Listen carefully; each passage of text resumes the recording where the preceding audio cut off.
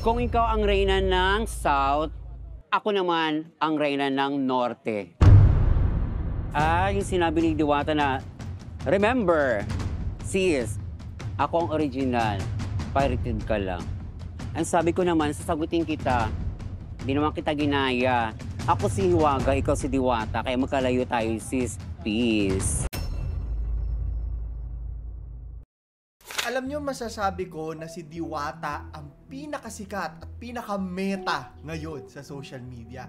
Makikita natin na napakarami ng mga nagagalit, nambabash, sumusuporta, nangaaway, nagpapasikat, gumagawa ng content para lang maidikit yung pangalan nila doon sa Diwata Pares. Alam natin yan, nakikita nating lahat yan. In fact, sa sobrang dami, ang gulo-gulo na at nawawala na yung focus doon sa masasabi nating pag-angat ni Diwata. Hindi ko alam kung bakit to, kung bakit ang dami nagagalit sa kanya. The way I see it, ginawa na rin naman natin siya ng content nun. Isa lamang itong normal na tao na gustong umasenso sa buhay, sa pagtatrabaho ng maigi.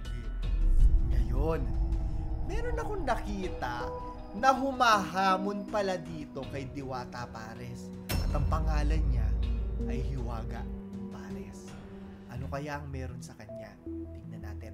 Bago tayo magpatuloy, meron tayong 1,000 Gcash giveaway. Huwag niyo kalimutan na mag-like, subscribe at notification bell at sagutin yung question of the day natin sa dulo ng video ito. Ganito kasikat si Diwata ngayon.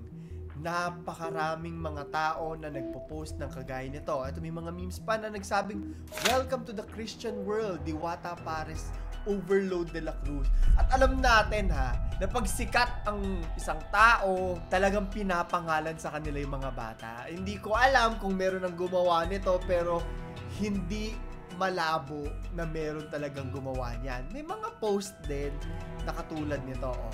Sabi, hindi masarap yung pares. Si Diwata lang ang masarap. Kung makikita nyo, sobrang daming mga vloggers talaga. No? Yung pumupunta tumatambay na raw doon sa pang-araw-araw para lang makagawa ng content ng Diwata Pares. Ngayong Diwata Pares na yan, no? hindi lang syempre magagandang vlogs, meron din yung mga naninira, meron din mga nangaaway for the sake of views. Tingnan natin yung mga post na kagaya nito. Asa na si Diwata?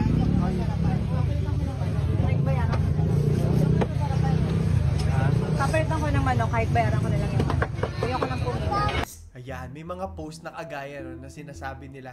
Sinabi kasi ni Diwata, pakita natin no, na ililibre ko na lang kayo kaysa i-bash nyo ko para hindi sayang yung isang daan nyo. Somewhere along the lines nung ganon. Welcome ako dito, vlogger, basher, lahat kayo kung wala kayong pera, mga basher kung gusto nyo kumain, huwag nyo akong i-bash, pwede ko kayong pakainin ng libre. Sabihin nyo lang yung totoo, huwag kayong mapanggap na mayaman wala kayong pambili, ganun lang. Yun. Kasi ako mabilis akong kausap. So may mga tao na gumagawa din talaga kung makikita natin.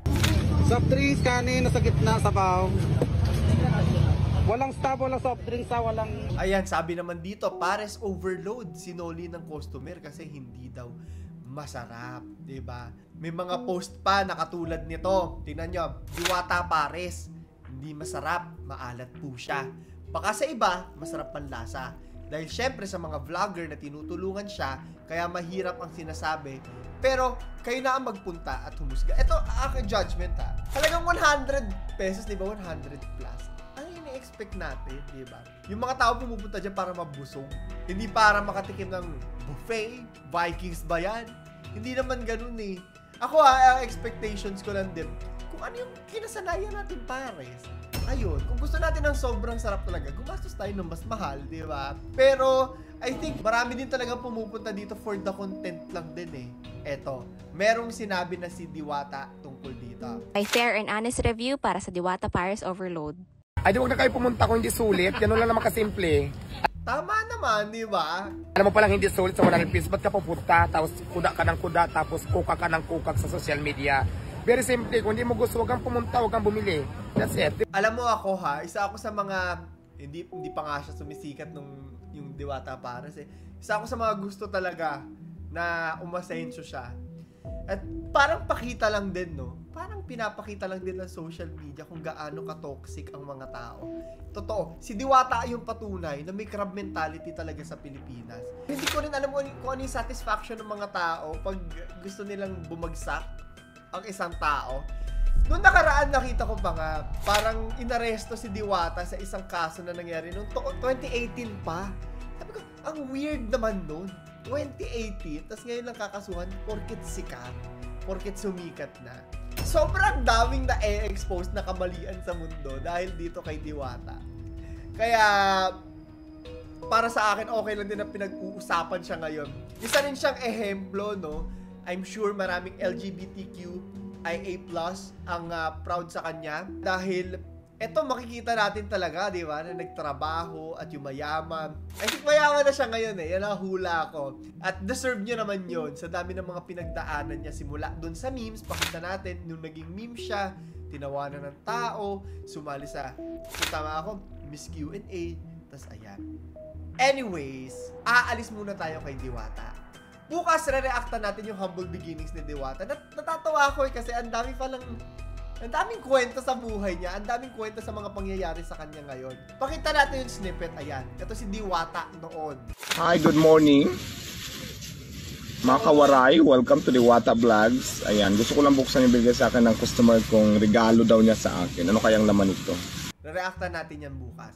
Pupunta na tayo sa sinasabi nilang copycat ni Diwata. At yan si Hiwaga Pares. Yan, okay na yan. Basta may... Ah, hiwaga-hiwaga. Ganda po ka totoo na... Ayan, kung makikita natin sa itsura niya, may may karakter din talaga siya. Hindi ko alam kung LGBTQIA din siya or hindi, or character lang to. Pero eto si Hiwaga. Copycat daw po kayo. Ay, sis, alam mo yan. Pati tayo, tis tayo din. Nilalaro niya na lang din. Alam mo, mat- matagal naman na may pares. Hindi ko alam yung overload, yung only rice, kung matagal na meron. Matagal na rin kasi ako hindi nakakakain ng pares. Pero matagal na may pares, di ba? O ayan. Tignan natin. Liwaga, Yeah? anong masasabi mo ngayon? Nag-aahit ka na. Ito, mukhang babae na. Sana naman sa baso maniwala na I love you all. Ang take away ko dito, no? napakaraming mga tao ang nai-inspire kung ginaya man niya ha, ni Diwata. Naging template siya na kaya palang upasenso ng isang tao. So, I don't think na dapat nating awayin din si Hiwaga about this. Marami nang babash sa kanya nakikita ko. Example kasi si Diwata, ay hala, kaya niya palang umasenso. Eh, I'm assuming nga, bakla si Diwata, di ba? Bakla siya, pwede palang umasenso. Yun, yun, yun yung importansya ng representation talaga eh. Hindi pala porket mahirap ka, eh, nandiyan ka na habang buhay, di ba? Pag nagtrabaho ka pala, isang simpleng paresan, kaya palang umasenso, at kaya palang magbigay ng pamumuhay sa akin na wala akong ginagawang masama. Tingnan natin itong isang video na to, makikita natin dito na sobrang successful din nitong Hiwaga Overload. Ayan, kung makikita mo dito, sabi, grabe, punong-puno si Hiwaga ng mga customer.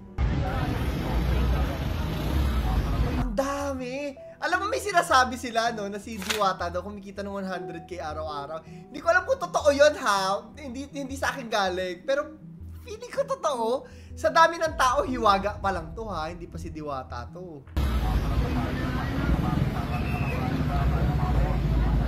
Diba? And ang gulo rin kasi ng social media eh. Bakit kailangan mang-away ng isa, ikumpara sa kabila, ah, ibaba yung isa, ibaba si ganito. Pwede namang lahat umaasenso. Pwede namang lahat masaya. Lahat kumikita ng pera. Especially ngayon, aminin na natin, no, napaka pangit ng ekonomiya natin, napakataas ng mga bilihin, hindi maitaas ang mga pasweldo sa atin dahil makaliit din yung kinikita ng mga kumpanya. Ang hirap, di ba? Hindi na lang tayo maging masaya. But I think, no, nandun din pumapasok yung masasabi kong inggit Siguro may mga tao na naiinggit din talaga sa mga kagaya nila Diwata at Hiwaga na kumikita ng malaking pera dahil sa simpleng business nila na pagpapares. Naniniwala ako na pag may involved na pera talaga, yung mga tao nag-iiba yung isip sa'yo talaga eh. May kaakibat na inggit din doon sa likod ng mga utak nila. Kaya ayun. Si Diwata at saka si Hiwaga at sa lahat ng mga gustong mag-business kagaya nila, no, sana ipagpatuloy nyo yung mga pangarap. Pagpatuloy nyo yung pagtatrabaho ng maayos, lalo pat ang hirap magtrabaho ngayon, ang hirap bumili ng mga bagay-bagay ngayon. Sana ituloy-tuloy ninyo at huwag kayong magpapahila pababa sa mga vloggers o kung sino man na gumagawa lang ng content na ikakasira ninyo para lang sa views nila. Kasi hindi talaga worth it. I-take nyo na lang sa sarili nyo, ay, pinag-uusapan ako. Lalaki yung kikitain ko dito. Dadami yung customer ko. At saka sa, mensahe na lang din sa mga sumusuporta sa kanila, good for you, 'di ba? Sumusuporta kayo sa pag-unlad ng mga kapwa natin Pilipino. Anyways, para sa ating question of the day, tatanungin ko kayo, gusto nyo ba no, na umasenso ang lahat ng mga katulad na nila Diwata, Hiwaga, at lahat ng galing sa hirap na nagsusumikap para umasenso sa buhay? I-comment nyo sa ilalim. At pagkatapos nito, pumunta na kayo sa aking gaming page. Magla-live ako ng horror doon. Claro is dead yung page ko. So, yun lamang po. Ito si Claro the third. Love you guys. Mwah. Diba? Ayun daw, si Iwaga. Oo. 60 lang, unrice na, may coca pa, nakadigay ka pa. Nakasmile ka na. Diba? Ano yan, sir? Oh, sabaw uli. Nako. Shout out si Brian. Shout out kay Brian. Ang mahal ko. Ay, naku, umuwi ka na sa bahay. Si Lito, si Lito. Si Lito, magpintura pa tayo. Si Junjun, si Junjun. John, gising ka na. Ay, nako. Teka na, susukli ko na sa tawagan. Ano Meron tayong utak kawal ng puso tumbok number 5. Masarap na pares yan, masarap na